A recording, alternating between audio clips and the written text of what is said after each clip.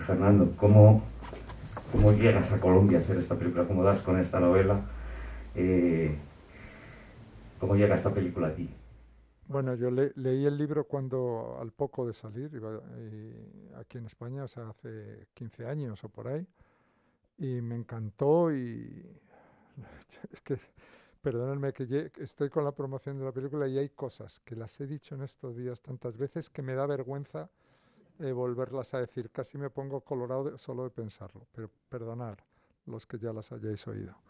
Eh, eh, pero no se me pasó por la cabeza que había que hacer una, una película, ¿sabes? O sea, además yo no soy de esos que, leen los libros pensando en, películas, ¿sabes? Yo soy un gran amante de la literatura y de, leer, del ensayo, de leer libros de pensamiento, de historia, de muchos tipos de libros, eh, ficción y no ficción, y, no leo pensando en el cine.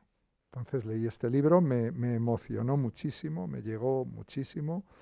Y años después me ofrecieron eh, hacerla y, yo les dije, creo que no se puede hacer, estáis locos. O sea, ¿cómo vais a hacer esto en película? Esa fue mi primera reacción. Afortunadamente eh, cambié, sí, empecé a darle vueltas y tal, y fui cambiando de opinión y, decidí hacerla y, y, estoy muy feliz de haberlo hecho, de haber cambiado de opinión. O sea, y de haber hecho esta película. Sí, ha sido una experiencia para mí única, única. Ha sido un rodaje muy, muy, especial, todo, todo. Imagino que habrá sido muy especial y te quería hacer una pregunta, porque claro, todos nos sorprendimos con tu protagonista, cómo, cómo llegas a pensar una película colombiana, ¿no? ¿Cómo llegas a pensar, pues Javier Cámara es su protagonista? Pues mira, eh, hay una cosa curiosísima, que es que tanto el autor como yo, la primera persona en la que pensamos Javier Cámara, por distintas razones. Él porque le recordaba mucho a su padre, físicamente. Yo porque me parecía que era el actor ideal para hacer este personaje, pero la primera vez que, lo, que, cuando lo pensé, eh, pensaba eso, pero descartándole. O sea, eh, sé que lo que yo dije, y además se lo dije a la gente más cercana, dije, es una pena que Javier Cámara no sea colombiano, porque es que era perfecto para esto y tal. Y empezamos a hacer el casting de la película buscando los actores colombianos para todos los personajes, incluido el que hace Javier. O sea, había una serie de actores, algunos buenísimos, eh, porque hay unos actores en Colombia increíbles, para ese papel. Y hubo, y ya llegó un momento en el que dije, tiene que ser Javier. O sea, fíjate, es muy curioso, hace años cuando preparaba La Niña de tus Ojos, estábamos haciendo casting en, Andalucía, porque yo quería una chica para hacer el personaje principal andaluza, ¿no? una actriz andaluza, o fuera conocida o desconocida. Y, y, Penélope me dijo, oye, pero yo, yo puedo hacer eso, ¿no? Y yo le dije, no, no, no, tiene que ser una andaluza. pero yo es que mi abuela era andaluza y tal. Digo, bueno, ya, tu abuela era andaluza, pero eso no tiene que ver. Y cuando se hacen los acentos, sobre todo el acento andaluz, cuando se hace es muy fácil caer en la parodia. ¿no? Y creo que aunque la película es una comedia, el acento no debe ser una parodia. Y, le dije que no. Y, yo seguía haciendo casting y viendo actrices y tal. Y de repente en un momento dije, pero si es que tiene que ser Penélope. ¿sabes? Y entonces vino y lo hizo, hizo un acento muy bonito, eh, andaluz y tal. Y en este caso, pues de otra forma, pasó también lo mismo, ¿no? O sea, que yo seguía ahí buscando un actor colombiano y al final dices, bueno, si, si lo del acento al fin y al cabo es una cosa técnica, ¿sabes? Una cosa importante, pero no es. Lo importante, eh, él lo hace aquí con una perfección alucinante, pero, pero lo importante al final es la emoción, la verdad, lo que des al personaje, porque eh, eh, para mí el riesgo mayor de cuando alguien hace un acento es que, toda, que su energía se vaya en eso, ¿sabes? Que, que, todo el, la técnica, el trabajo y tal vaya en, en, eso, ¿no? Y, dices, no, pero si lo importante es el corazón, lo importante es la emoción, y lo bueno de Javier es que está la emoción, está, está la alegría de vivir, que para mí era importante que tenía aquel personaje que era un hombre que siempre estaba riéndose, a carcajadas, era un hombre alegre, un tipo enamorado de la vida, disfrutador, que quería a la gente, quería a la humanidad y creía en ella, a pesar de que eh, muchas veces haya razones para no, no hacerlo. ¿no? Entonces, Javier tenía eso, tenía esa, es una persona que tiene esa especie de energía vital, de alegría continua. ¿no? Y también, pues igual que cambié de opinión con, con lo del libro, de si era un libro que se podía hacer en cine o no, también cambié con Javier y también fue una suerte. desde luego lo que dices es cierto. A mí me, yo me he quedado maravillado con la manera de interpretar y, y tiene razón en que no se le ha ido la fuerza en, el empeño técnico de reproducir el acento, sino que verdaderamente es que transmite, bueno, la película transmite esta relación familiar, eh, verdaderamente es muy, muy emocionante y, creo que eh, hay un viaje emocional que hacemos como espectadores ¿no? de, toda esta primera parte que, es tan amable de ver, ¿no? que, la, ves con una son, que lo ves con una sonrisa interior, ¿no? y como poco a poco la película se va oscureciendo. ¿no? Y, y entramos en, toda esta fase final.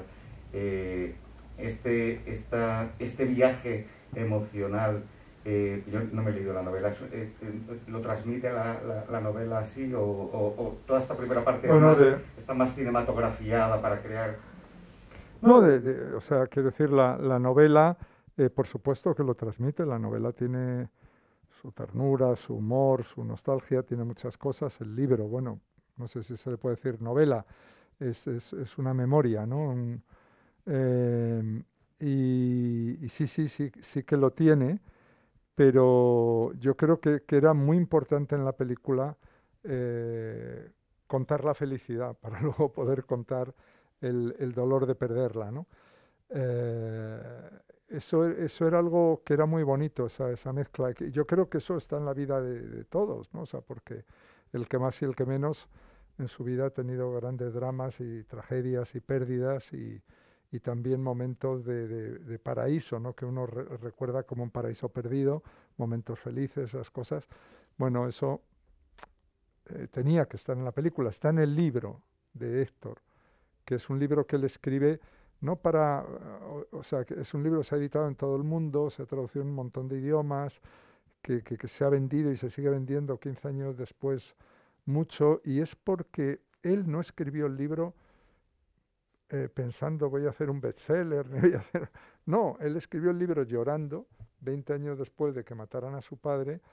Eh, él me dice siempre de la primera a la última página y que tardó 20 años en sentarse a contar la historia porque, y que lo hizo principalmente para que eh, él, dice que tiene muy mala memoria, todo el rato está diciendo que no se acuerda de esto, no se acuerda del otro, y entonces que para que sus dos hijos, Daniela y Simón, conocieran a su abuelo, ¿no? que Daniela tenía un año cuando lo mataron y Simón no había nacido.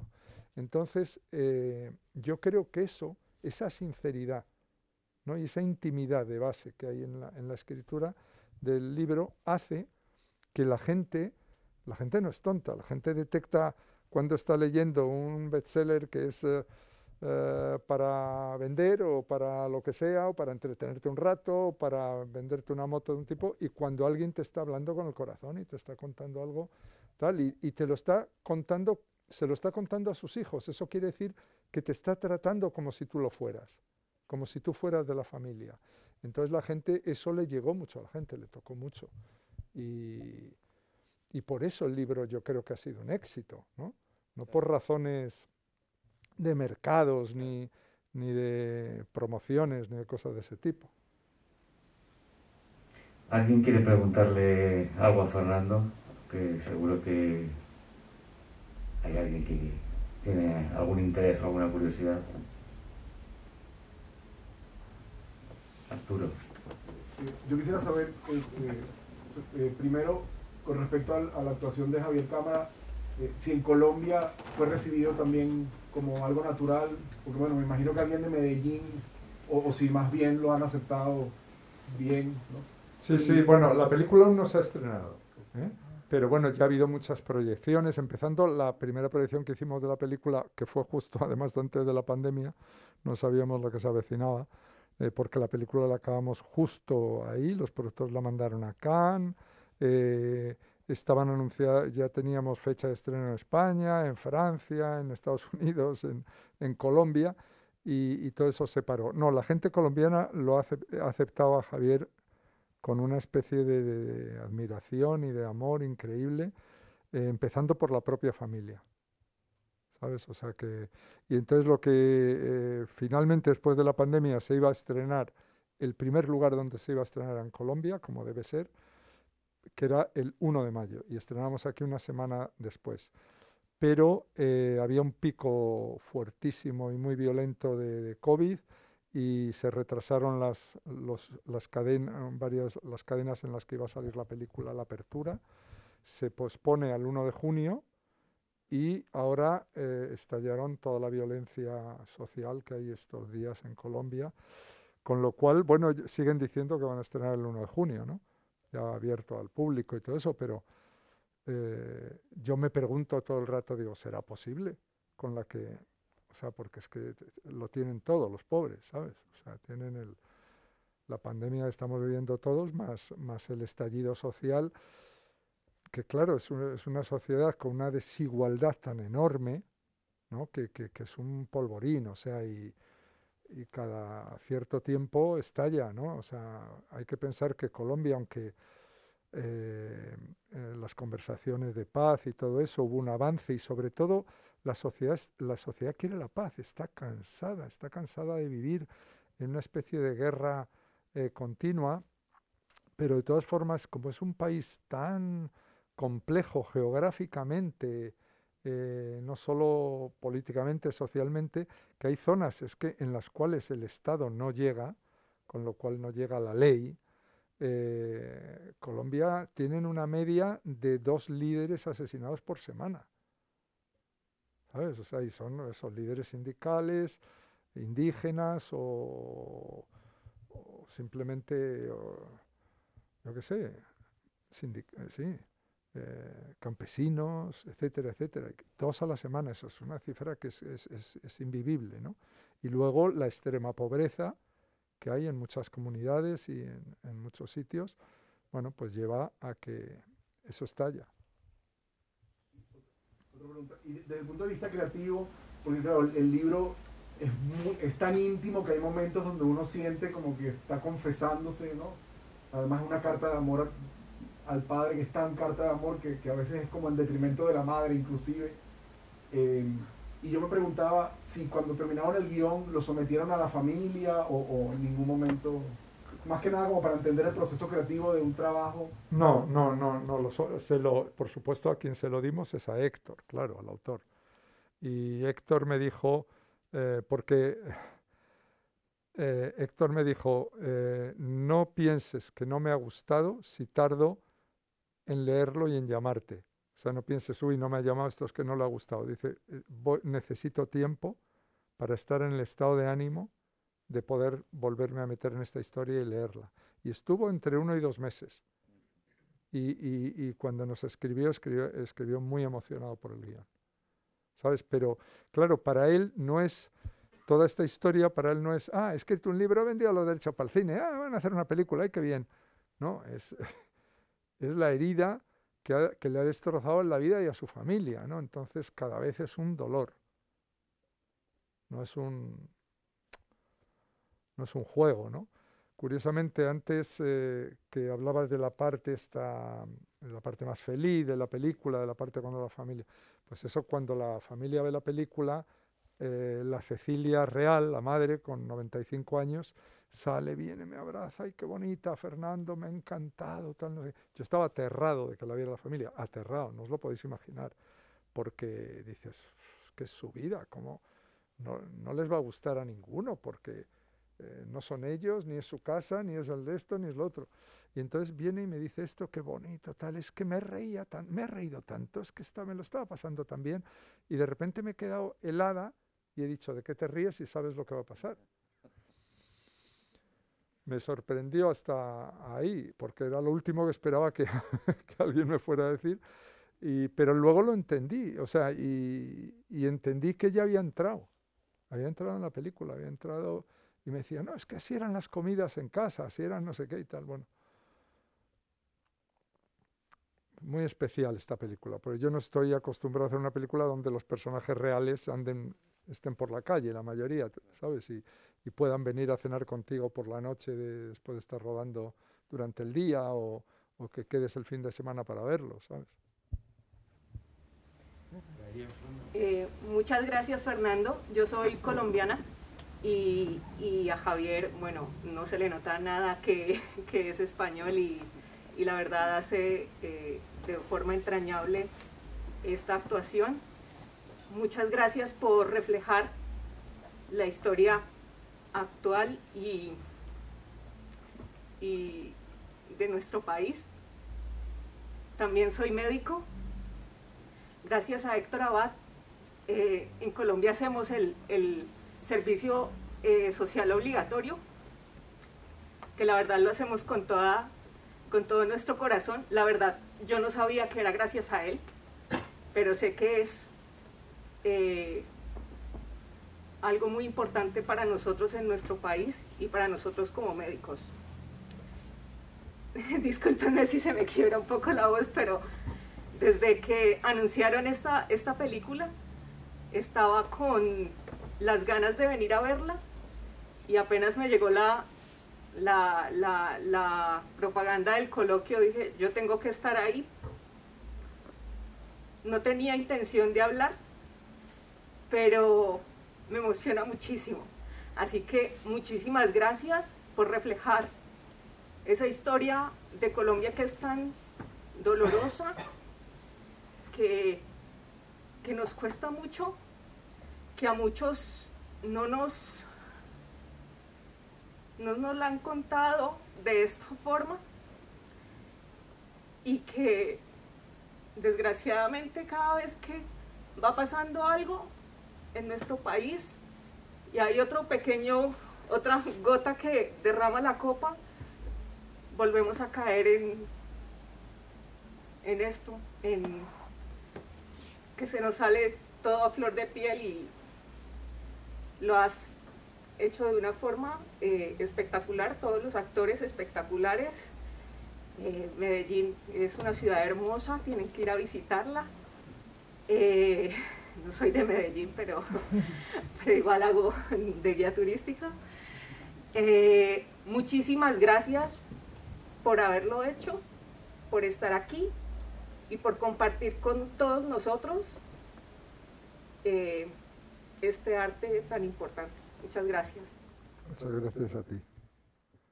La verdad es que trabajar en Colombia ha sido para mí un placer enorme.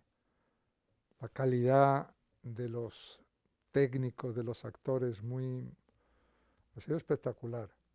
O sea, realmente si, si ahora me dijeran, oye, tienes que hacer 10 películas con el mismo equipo, firmaba sin dudarlo. Ha sido una, una experiencia muy, muy buena, muy buena.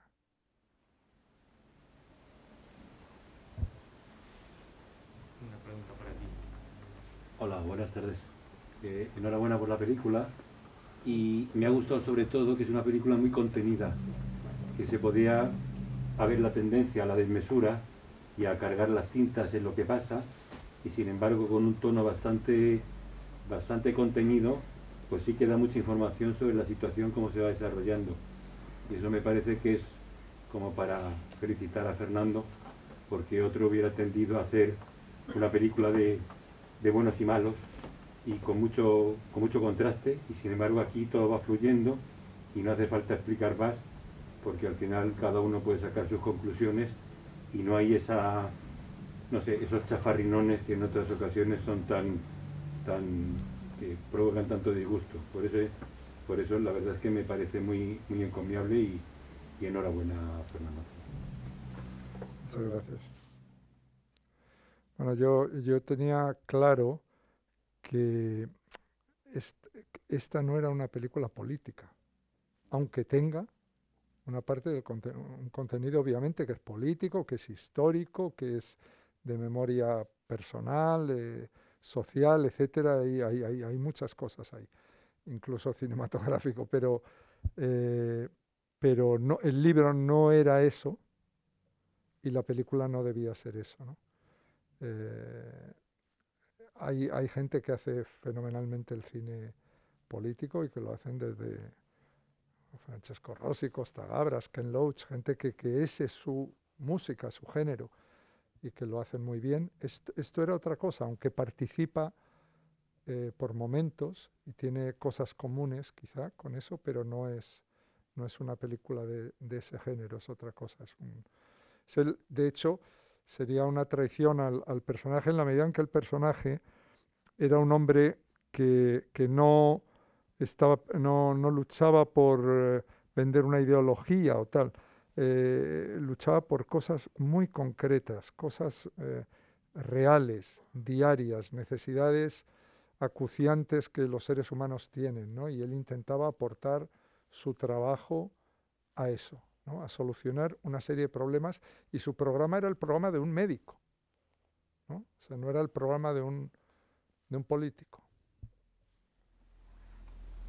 Te quería preguntar, aquí que hay muchos cineastas, noveles que están empezando y que muchas veces eh, esto se convierte en tema, en tema, de, en tema de debate y que, como decía al principio, hay un denominador común en, todas tus películas. Bueno, hay, muchos, hay muchas cosas fascinantes, pero entre todas ellas quería poner una aquí sobre la mesa, que es lo bien que suenan los diálogos, cómo entras en los diálogos, la cantidad, haces un cine con muchas palabras y esos diálogos además, algo que es muy difícil, entran siempre con una, con una naturalidad, con una no sé, es, es, es algo que, que, me fascina y quería preguntarte cuál es tu truco para que te suenen también los diálogos, porque me imagino que, no sé si es que trabajas mucho con el actor para que el actor viaje hacia el guion de una manera muy técnica o, o dejas que el guion viaje hacia el actor, porque me fascina ¿no? cómo suenan tus películas.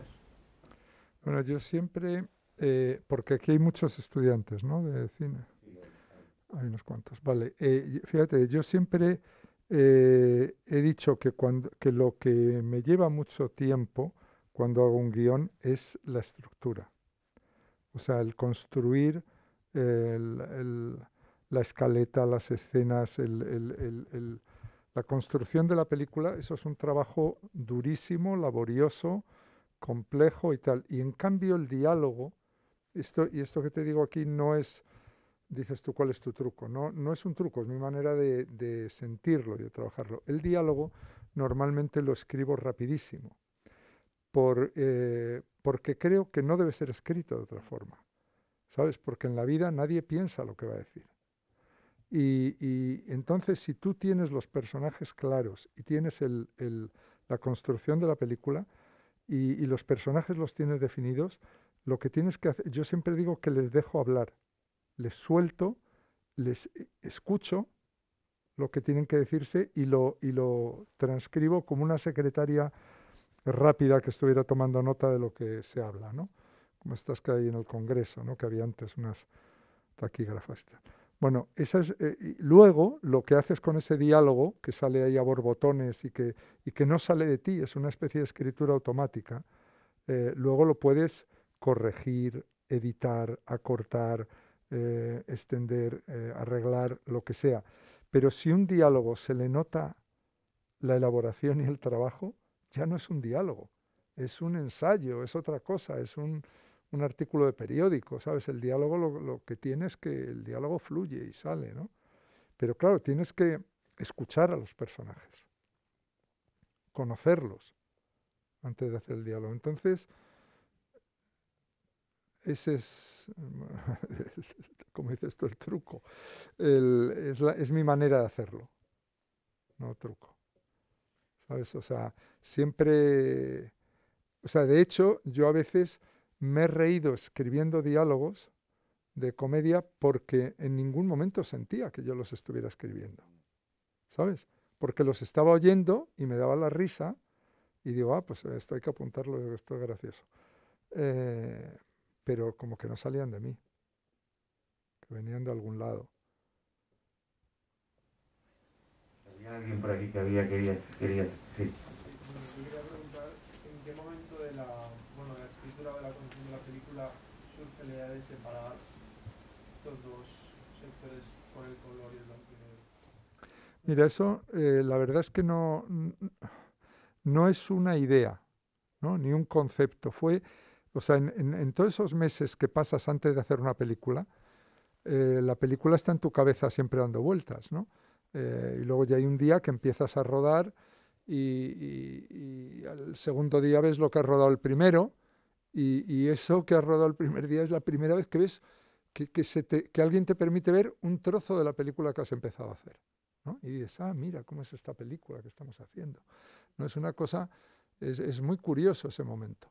Pero en los meses anteriores a rodar, tú vives con la película y de alguna forma la sueñas, le das vueltas, la tal, no sé qué. Y yo siempre veía una unas escenas, las veía en blanco y negro y otras en color. Al principio no se lo comentaba a nadie y decía, ¿por qué me pasa esto?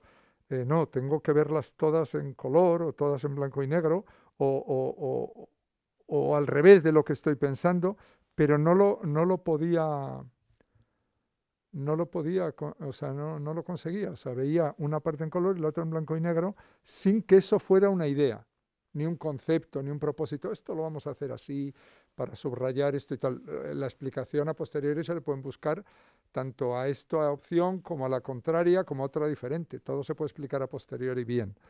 Eh, y entonces, ya cuando me di cuenta de que es que era así como la película existía dentro de mí, me dije, Dios mío, se lo tengo que decir a los productores, que van a, ¿cómo lo van a lo van a entender, se van, van a intentarme convencer de que lo haga de otra forma. Que eso, claro, yo no estoy acostumbrado a no ser yo el productor de, de mis películas, ¿no? Entonces, alguna vez no lo he sido, pero, pero siempre he tenido eh, libertad para hacerlas y tal. Y, curiosamente cuando se lo dije a los productores colombianos, eh, le digo, oye, os tengo que contar una cosa, lo estuve retrasando semanas porque decía, a ver en qué momento les pillo y tal. Eh, los dos me miraron y dijeron, no, Fernando, esta película la tienes que hacer como tú creas que la tienes que hacer. Y yo dije, joder, maravilla de productores, ¿no? Me, me los quedo ya para siempre.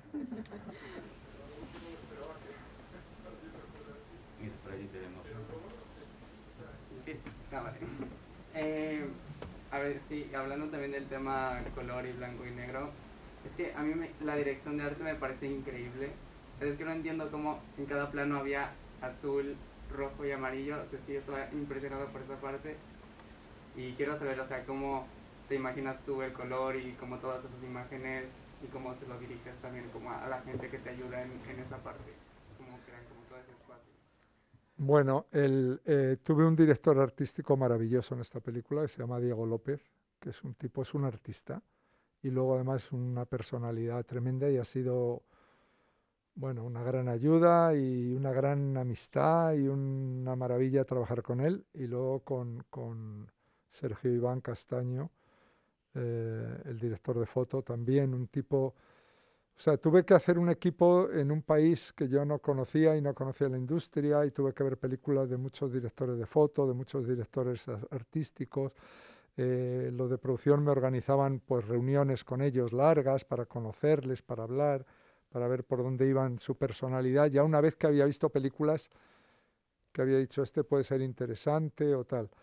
Y, los dos que elegí, tanto en la foto como en la dirección artística, la verdad es que repetiría con ellos, dos, dos enamorados de su trabajo, eh, con vidas muy especiales y muy peculiares, no gente, no profesionales fríos, sino gente que, que tiene mucho amor a lo que hace, ¿no? Eh, Chubán era un, chico, el director de foto, que desde los 13 años ya estaba enamorado de las máquinas, de las cámaras, y cuando tenía 16 o 17 años reparaba las cámaras Panavision. Esto, para los que no sepan lo que quiere decir eso, quiere decir que en, aquella época se estropeaba una cámara Panavision y había que mandarla a Londres o a Los Ángeles, que eran los únicos lugares eh, en los que una cámara de, esa de esa gama, de ese tipo, eh, eran capaces de arreglarla. Y este, que era un adolescente, arreglaba las, las cámaras de Panavision hasta el punto de que los llamaban de películas americanas o lo que fuera que se estuviera rodando allí. Luego, con 19 años, se fue a, al Centro Experimental de Roma y, trabajó en Cinecittà y, y estuvo aprendiendo talonaje viendo ahí a Storaro y a Tonino de Licoli y algunos de los grandes eh, directores de foto italianos y tal. Bueno, pues son gente que, que cuando hablas con ellos y te relacionas con ellos ves que, que, que, tienen el cine dentro, que tienen el cine en las venas, ¿no? que no es una cosa que pasaba por allí. ¿Sabes? Entonces es, es un gusto trabajar con, con, la gente así. Yo necesito además eh, la pasión de los que trabajan contigo, ¿sabes? No solo que te den su tiempo y su técnica y su profesionalidad, sino que te den el alma, ¿sabes? Porque hace falta para hacer las películas.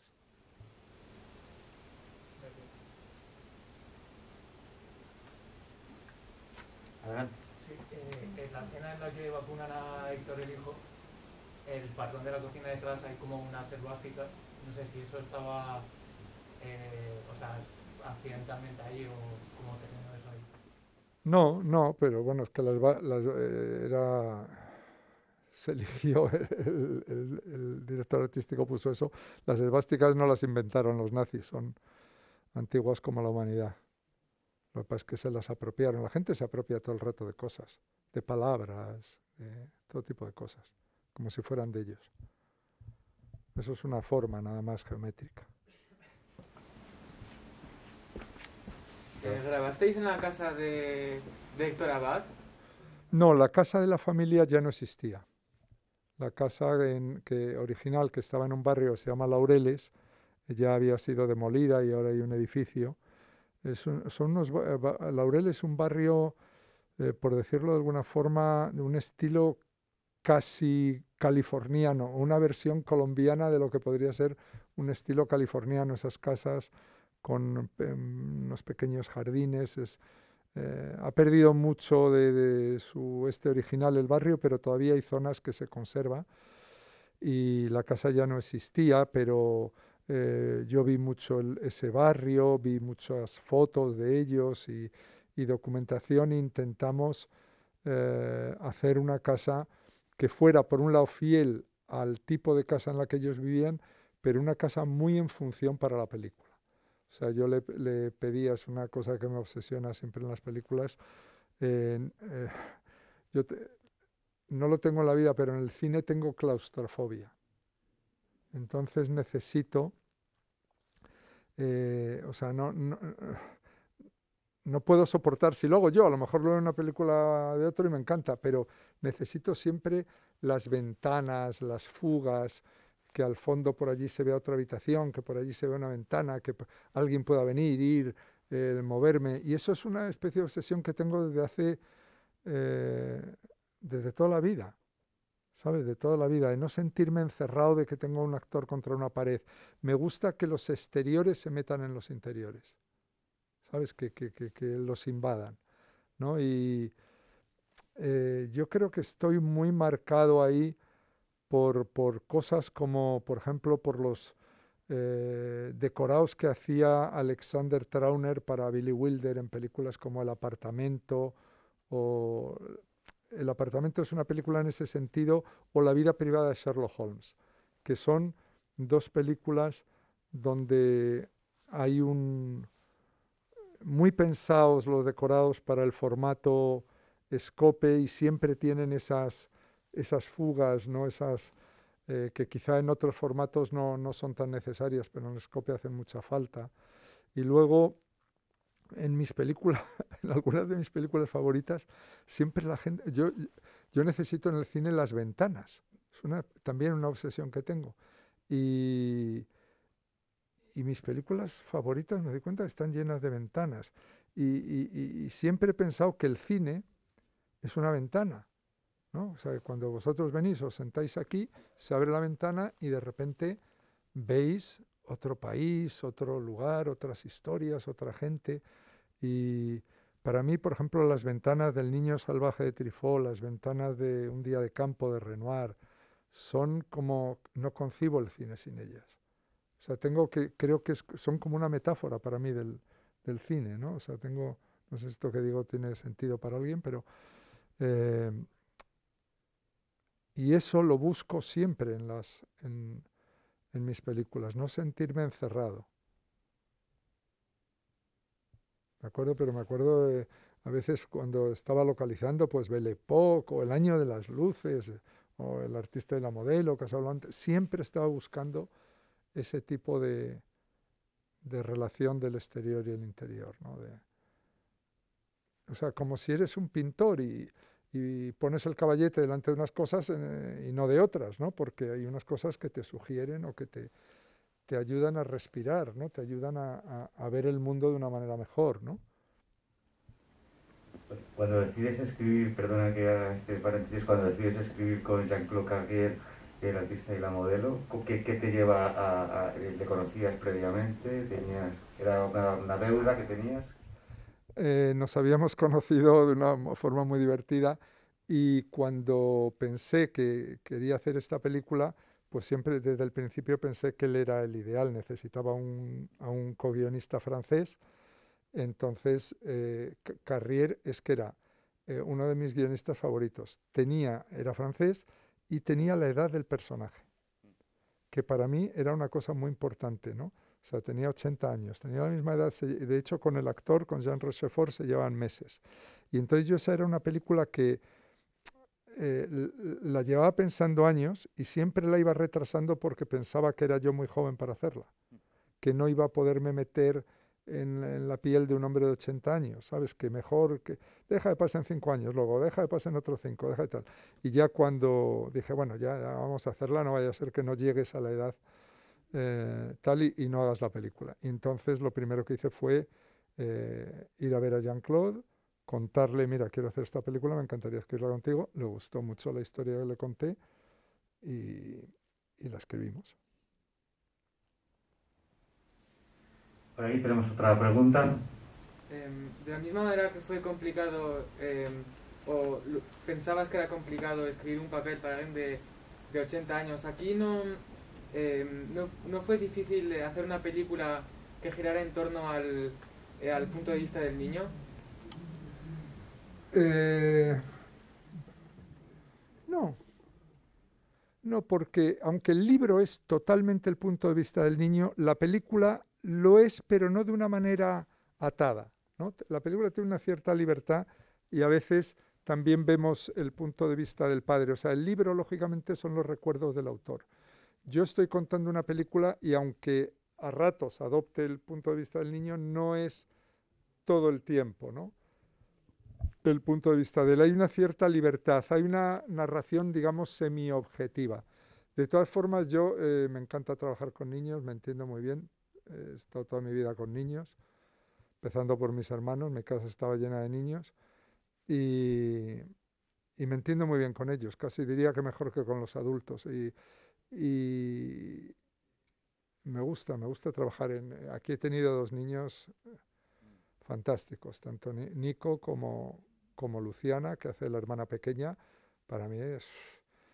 Haría varias películas con ellos, inteligentes, eh, arriesgados, inspirados, les podía hacer improvisar a veces o meterse en un plano en el que supuestamente no está previsto que, que estén y hacerles hacer cosas, ¿no? Es, son muy, es muy bonito trabajar con niños cuando son niños que tienen algo, ¿no? Y, y ellos, de alguna manera, esta, esta, este elenco, esta familia de ficción, se convirtieron en algún momento en el rodaje en, en, en, familia. Mira, yo cuando el, el, el, decorado estaba ya casi acabado, antes de empezar el rodaje, eh, les llevaba al decorado, al, sobre todo a las hermanas, a la madre, a todos ellos y a los niños, eh, diciendo, venga, vamos a leer un, eh, quedamos el martes y el jueves para leer un poco el guion, ensayar un poco y tal. No era tanto para ensayar, que leíamos un poco y les, eh, les me comentaban si tenían una duda o me hacían preguntas y tal, pero para mí lo que era importante era como que ellos se apropiaran de, de esa casa, ¿sabes? Que se sentaran allí, que se tomaran algo, que hablaran, se contaran sus historias y, y, y que se acostumbraran las hermanas entre ellas, ¿no? Eh, y era muy bonito porque era como ver cómo que la familia se iba haciendo.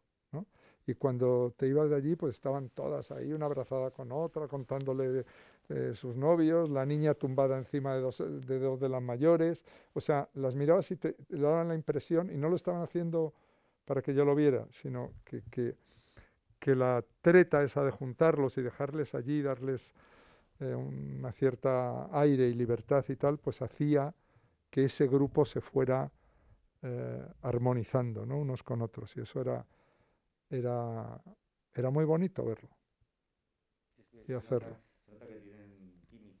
Sí. Sí, sí. ¿Alguien quería preguntar?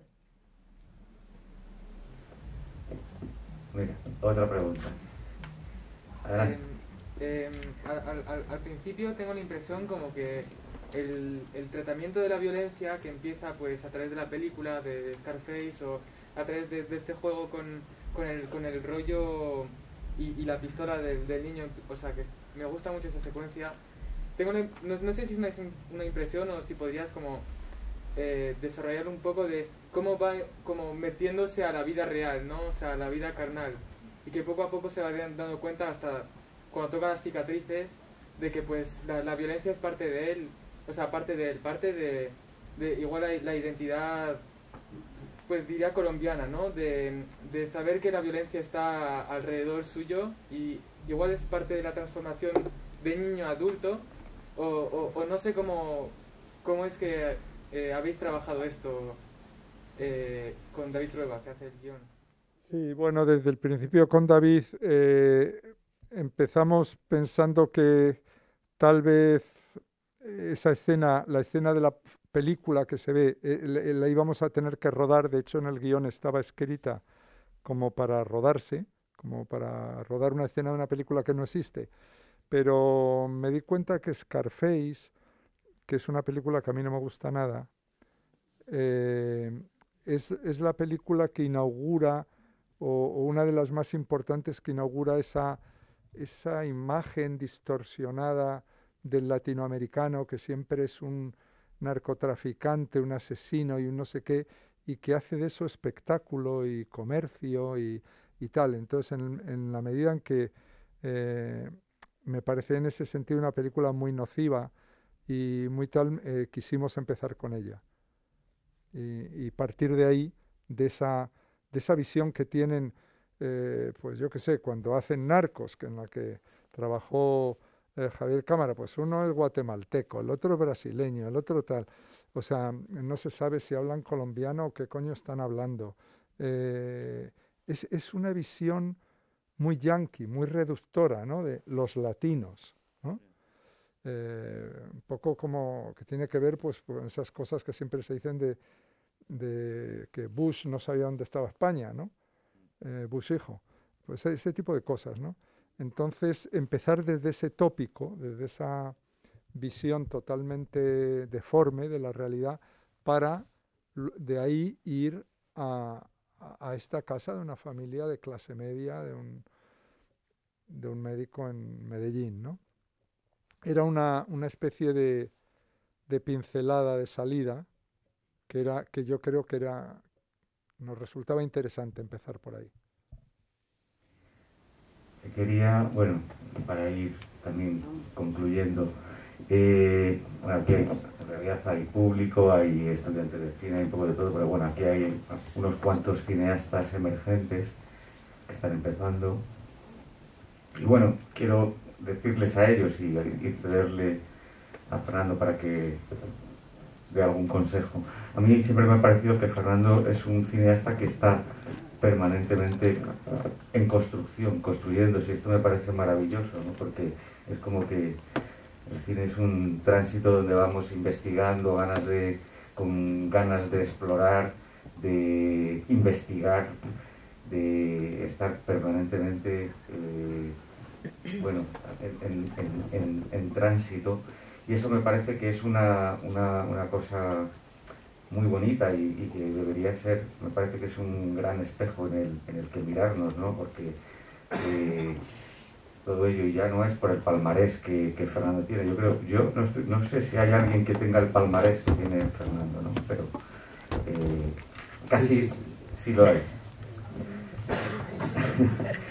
pero tiene un palmarés impresionante, pero ya no es por el, por el palmarés, sino por lo que es eh, la, eh, dedicar una vida al cine como forma de vida, ¿no? Y bueno, me gustaría que, pudieras comentar algo sobre esto para ellos, ¿no? Que... Bueno, yo, yo me considero estudiante en la medida de que lo que más horas dedico es a, a intentar saber más, eh, leyendo cosas, bueno, dentro de los intereses que tengo, que son lógicamente limitados. Nadie se puede, no puedo leer libros de física cuántica, porque no los entiendo.